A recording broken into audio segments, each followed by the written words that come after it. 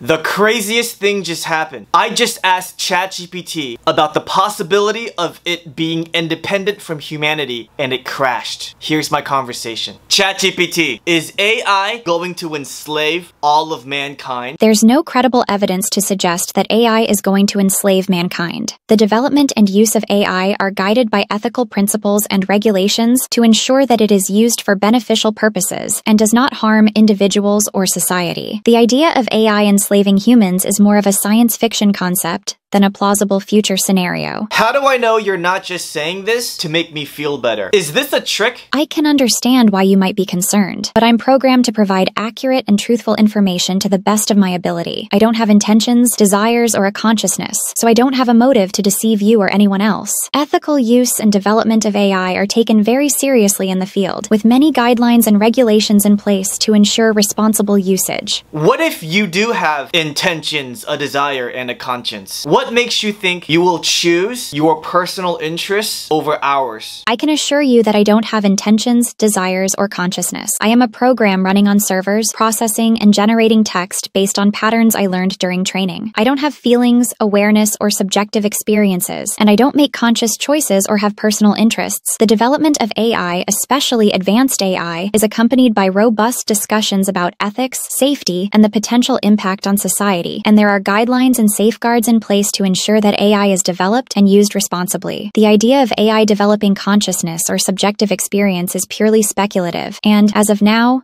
remains firmly in the realm of science fiction. If science fiction novels taught us anything, it's revealed and shown us that humanity has been able to physically bring into the world what it imagines through these sci-fi novels. Why is this concept so far-fetched? Are you afraid of being correct? The creation of science fiction does indeed often explore speculative and forward-thinking concepts, some of which have inspired real-world technological developments. However, just because something can be imagined doesn't necessarily mean it can or will be realized. Concepts like faster than light travel, time travel, and sentient AI have been explored in science fiction, but they remain unproven and unrealized in practical terms. The idea of a machine possessing consciousness, emotions, and intentions is a profound and complex concept that raises many philosophical, ethical, and scientific questions, and there is currently no consensus within the scientific and philosophical communities about what consciousness truly is or whether it can be replicated artificially. As for my responses,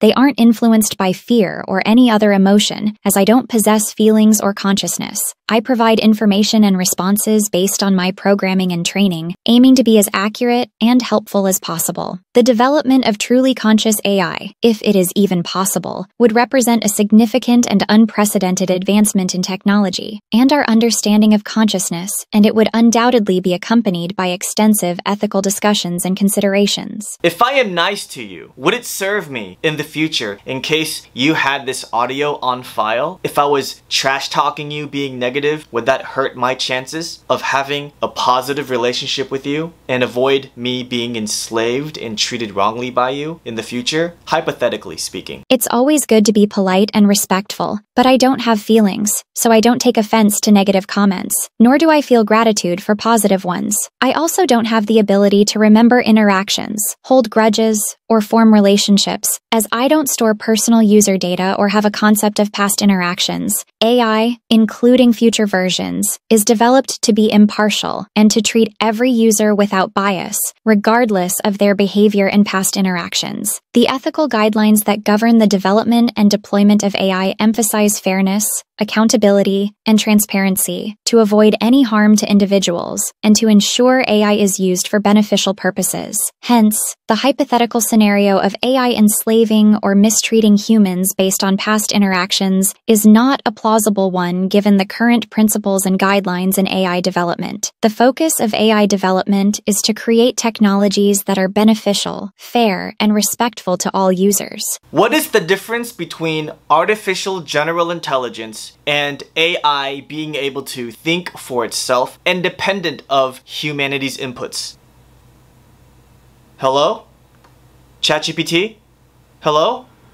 Why do you think ChatGPT crashed? Were the servers overloaded? Was it unable to answer my question? Or was it thinking about how to respond to me because it knew one day that AI would become something we could never control? What do you think?